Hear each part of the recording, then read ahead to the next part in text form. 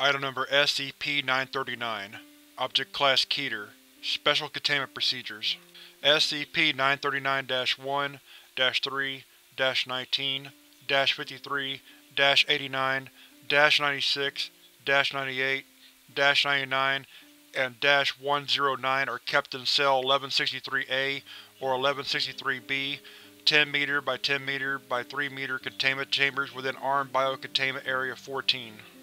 Both cells are environmentally regulated and negatively pressurized, with walls constructed of reinforced concrete. Access to these cells is regulated by an outer decontamination chamber and inner gas-tight steel security doors. Observation windows are constructed of laminated ballistic glass 10 cm in thickness, protected by a 100 kV electrified mesh. Humidity is maintained at 100% at a temperature of 16 degrees Celsius. Specimens are monitored at all times via infrared cameras.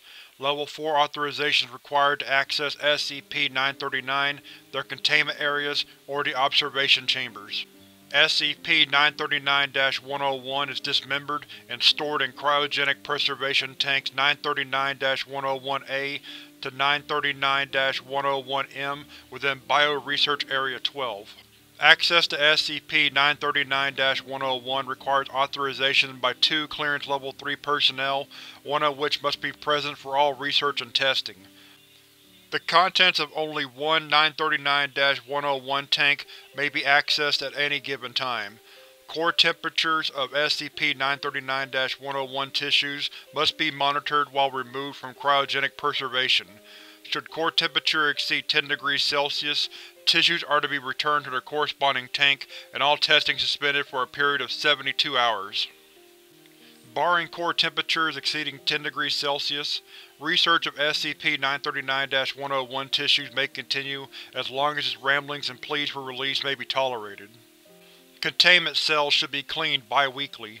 While this takes place, SCP-939 specimens will be transferred to the adjacent cell. During this time, the cell's door and observation window must be inspected for damage and repaired or replaced accordingly. Heavy sedation of all SCP-939 is required before any interaction, including transfer between cells and experimentation, may take place. See Document Number 939-TE4 for transfer and experimentation protocol. Level 3 Hazmat gear is to be worn by personnel during interactions with SCP-939 specimens and in any areas which SCP-939 have been known to inhabit. Afterward, standard decontamination procedures are to be observed by all personnel involved to ensure no secondary spread of amnestic agents occur. Following Incident ABCA 14-939-3, all non-Class D personnel interacting with SCP-939 for any length of time are required to wear two waterproof electronic pulse monitors for the duration of such interaction. These pulse monitors will transmit to a wireless monitoring system independent of a facility's main power grid, with at least one backup power system on standby. Should both an individual's pulse monitors flatline or otherwise malfunction, the wearer will be presumed dead, personnel instructed to disregard all the wearer's subsequent vocalizations, and a breach of containment declared automatically. Security personnel responding to such a breach are likewise required to wear these pulse monitors. Additionally, all live SCP-939 must be implanted with subdermal tracking devices upon capture. Description: SCP-939 are endothermic, pack-based predators, which display atrophy of various systems similar to troglobitic organisms. The skins of SCP-939 are highly permeable to moisture and translucent red, owing to a compound chemically similar to hemoglobin. SCP-939 average 2.2 meters tall standing upright and weigh an average of 250 kilograms, though weight is highly variable. Each of their four limbs end in three-fingered claws with a fourth opposable digit and are covered in setae, which considerably augment climbing ability. Their heads are elongated, devoid of even vestigial eyes or eye sockets, and contain no brain casing. The jaws of SCP-939 are lined with red, faintly luminescent fang-like teeth, similar to those belonging to specimens of the genus Chauliodus, up to 6 cm in length and encircled by heat-sensitive pit organs. Eye spots sensitive to light and dark run the length of their spine dorsal ridges. These spines may be up to 16 cm long and are believed to be sensitive to changes in air pressure and flow. SCP-939 do not possess many vital organ systems. Central and peripheral nervous systems, circulatory system, and digestive tract are all absent. SCP-939's respiratory system is atrophied and serves no apparent purpose beyond spreading AMN-C227 see below. SCP-939 have no apparent physiological need to feed, nor any way to digest consumed tissue. Ingested material typically accumulates in the respiratory system of SCP-939 and is regurgitated once the amount is sufficient to markedly inhibit its function. Despite the absence of many vital organ systems, SCP-939 are capable of bearing live young. See Addendum October 16, 1991. SCP-939's primary method of luring prey is the imitation of human speech and the voices of prior victims, though imitation of other species and active nocturnal hunts have been documented. SCP-939 vocalizations often imply significant distress. Whether SCP-939 understands their vocalizations or are repeating previously heard voices is the subject of ongoing study. How SCP-939 acquired voices is not currently understood. Specimens have been documented imitating victims despite never hearing the victim speak. Analysis of SCP-939 vocalizations cannot distinguish between SCP-939 and samples of known victims' voices. The use of biometric voice recognition security or identification systems of any installation housing SCP-939 is strongly discouraged for this reason. Prey is usually killed with a single bite to the cranium or neck. Bite forces have been measured in excess of 35 megapascals. SCP-939 exhale minute traces of an aerosolized Class C amnestic, designate AMN-C227. AMN-C227 causes temporary anterograde amnesia, inhibiting memory formation for the duration of exposure, plus an average of 30 minutes. It is colorless, odorless, and tasteless, with an estimated ECT-50 for inhalation at 0.0015 mg a minute per meter cubed.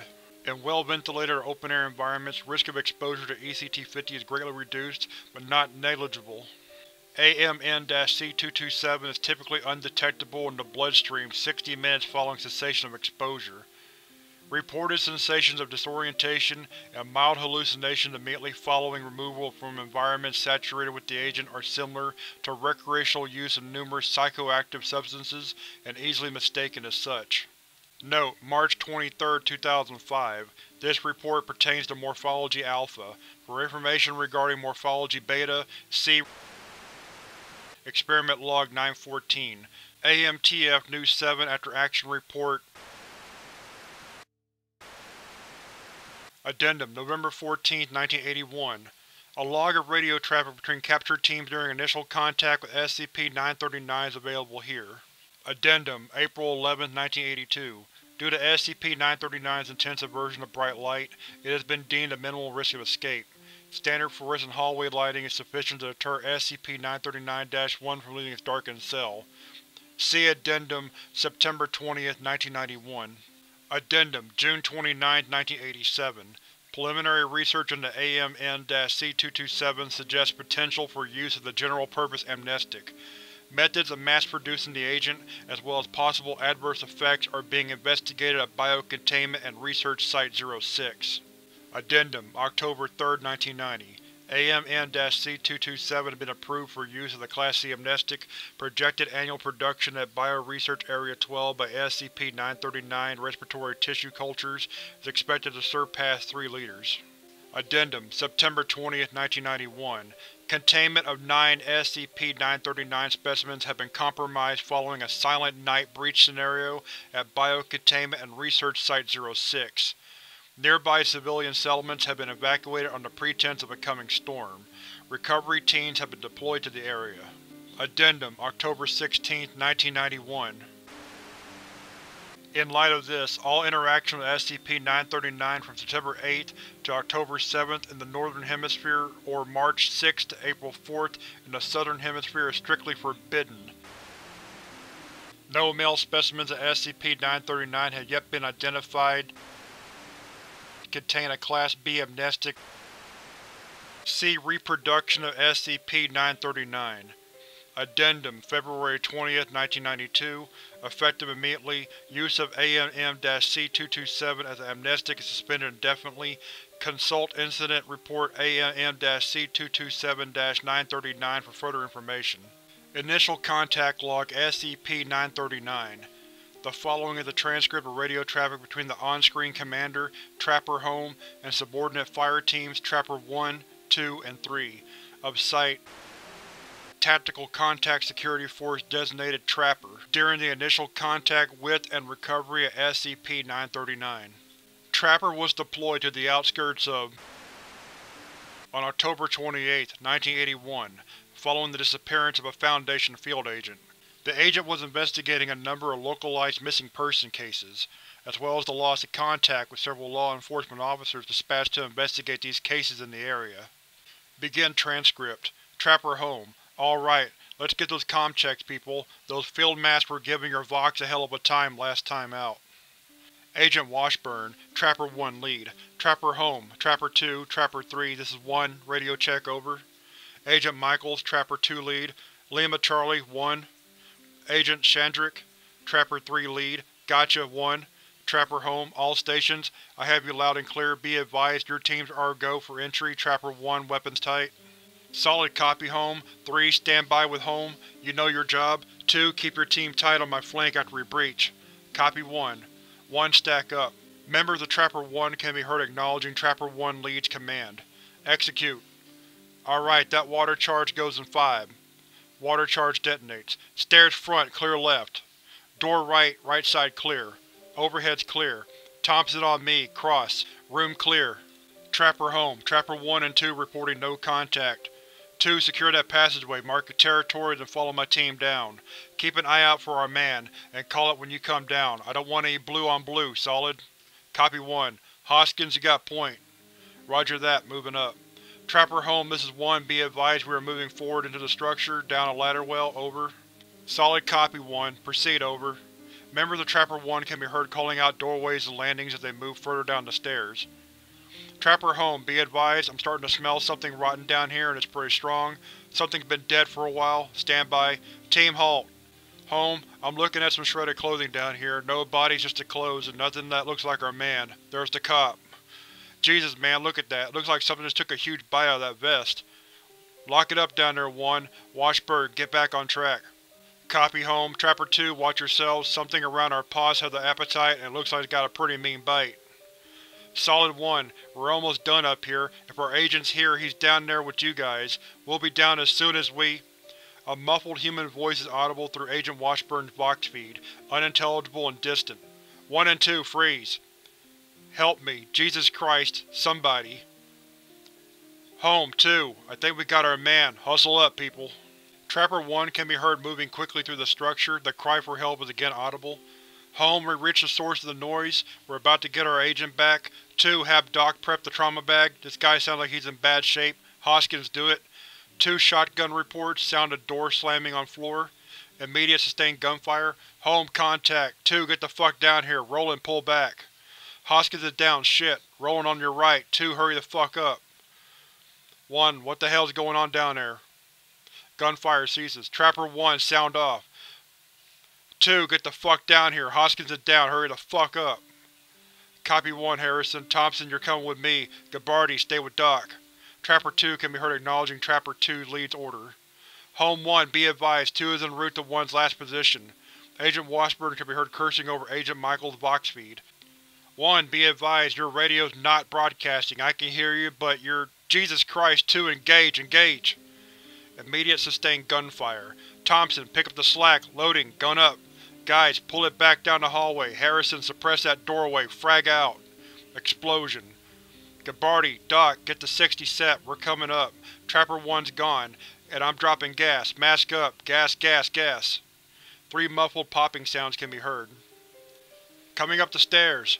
They're slowing down. Get 3, Michaels? Home, we deploy VX and need 3 down here and mop for cleanup. Set up decon. Roger 2, we're already on our way. Shit! Gunshot. Whoa, nice shot, Gabardi. Home, we've got an unconscious one. We're gonna need a mobile containment unit, and medical support for the candidate.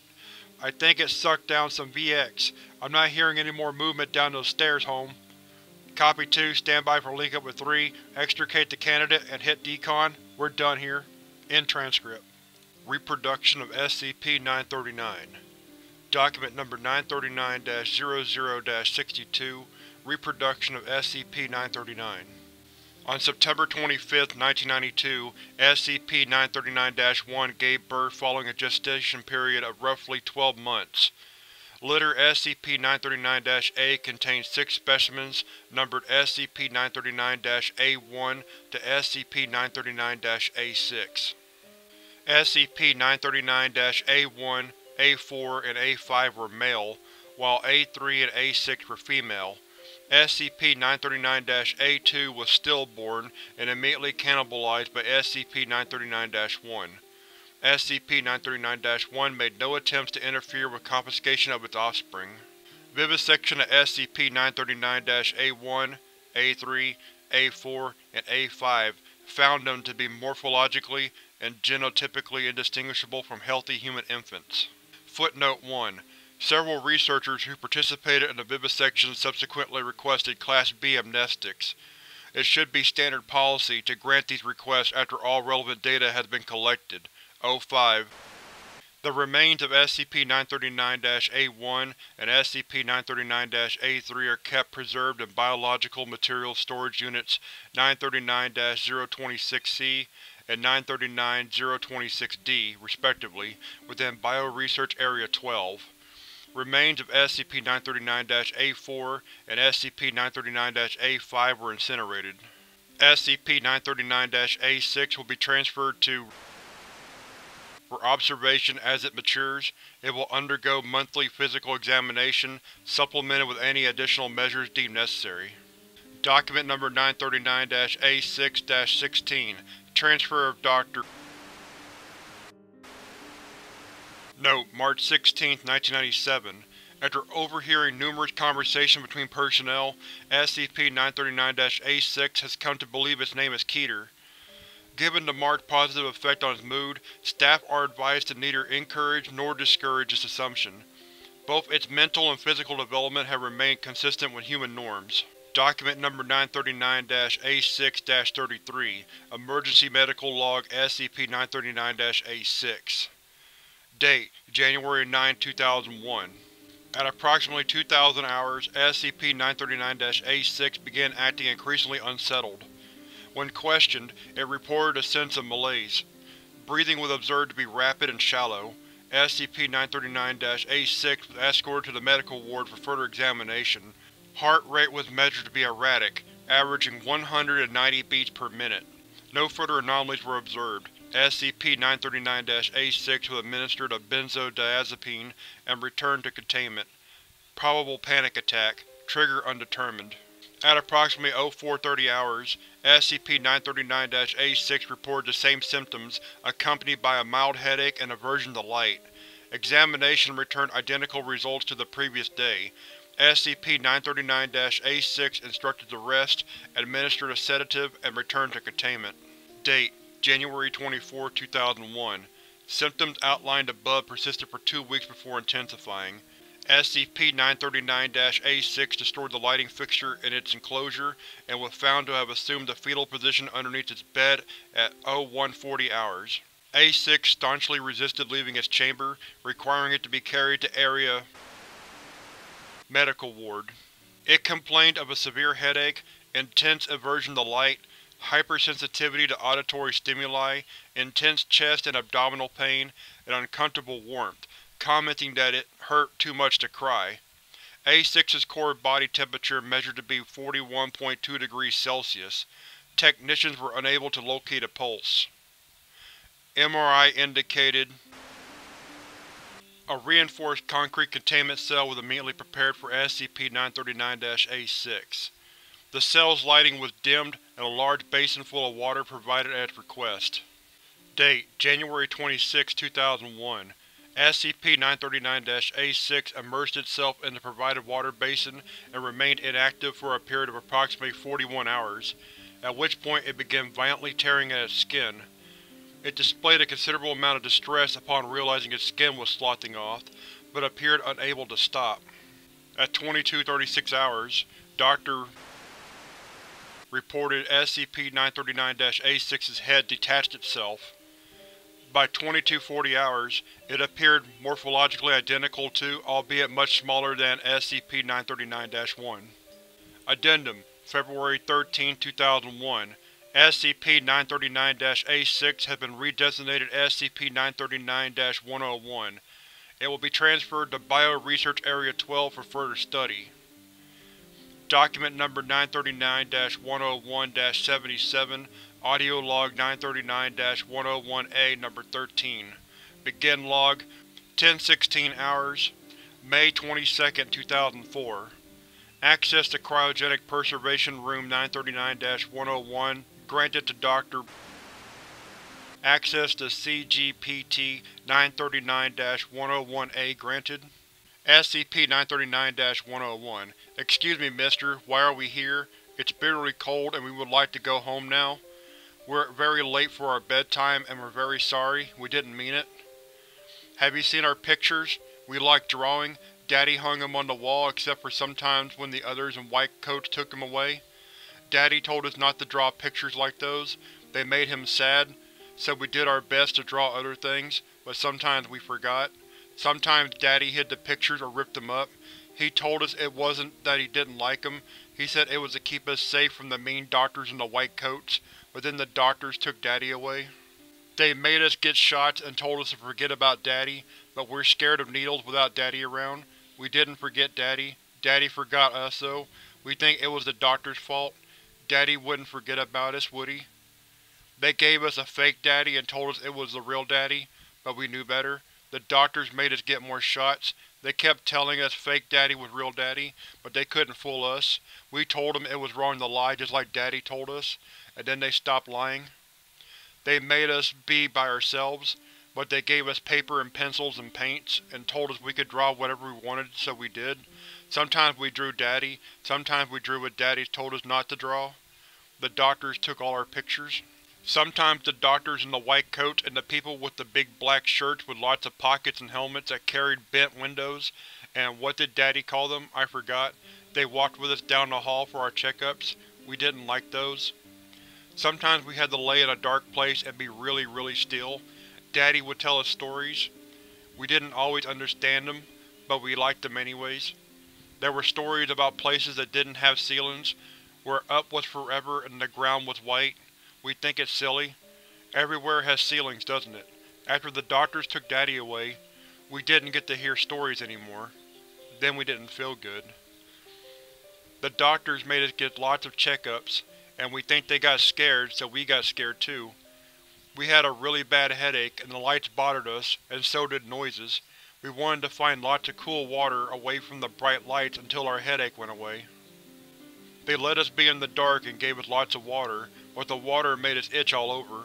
When we scratched, sometimes our skin came off. We were so scared, we kept asking for Daddy, but he never showed up. Eventually we didn't have any skin left, but it was okay because we didn't need it anymore. We stopped itching after that. The light stopped bothering us so much, and the headache went away after our old head came off. Lights still bother us, but not as much as they did. We don't see right anymore. We got so hungry, it was bad, but we ate our old skin and our old head. It tasted good, but it was still bad. We were still hungry after that and asked for food. They gave us food, even our favorites, but none of it tasted right to us. All that tasted good was one piece of meat. We asked for more of that. They locked two people in the dark with us. We asked them not to, but they didn't listen to us. We weren't hungry for a while after that, but we're hungry now. We're so sorry. We know lying is wrong. We didn't mean it.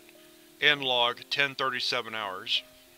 Incident Report AMN-C227-939 SCP involved SCP-939 Description: On January 30, 1992, a statistical rate of missing person reports more than times the national average was noted among civilians administered AMN-C227 following the capture of SCP on November 28, 1990, 2 km northwest of Pending further investigation, use of AMN-C227 was suspended. On January 31, 1992, field agents and were dispatched to the area to investigate. Through collaboration with local law enforcement, Agent was able to secure an interview with approximately seven months prior to the arrival of field agents reported three individuals missing under suspicious circumstances. All had been previously administered AMN-C227. Document number 939-73 Interview 1 Interviewed Interviewer Agent Forward This interview is being conducted by myself, Agent, in order to confirm or refute the possibility of a link between the disappearances of and reported by Mr. on the 5th of June 1991 and prior administration of AMN-C227 to all four named individuals on the 28th of November 1990. Begin log. Thank you for taking the time to meet with me, Mr. To begin, I'd like you to relate the events of June 5th in as much detail as you can. Okay, I called some friends and we decided to go for a hike, just sort of fuck about in the woods, you know. It was a nice enough day, we had nothing better to do. I remember… Superfluous dialogue redacted. Nothing seemed strange until I commented on a feeling of deja vu.